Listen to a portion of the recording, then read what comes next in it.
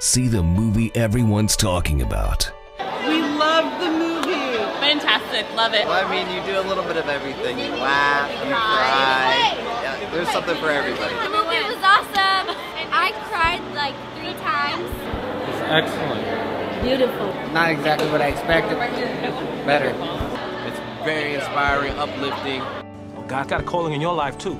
But you gotta answer the phone when he calls, you dig? It's the power of God just working in uh, working in a man's life. I love the plot. Love that it was applicable to someone else's life. Acting, great. Storyline, great. I can't wait to bring all my friends.